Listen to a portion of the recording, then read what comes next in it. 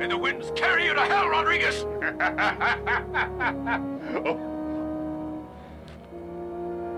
They may, Inglis, they may. But you will never sail again.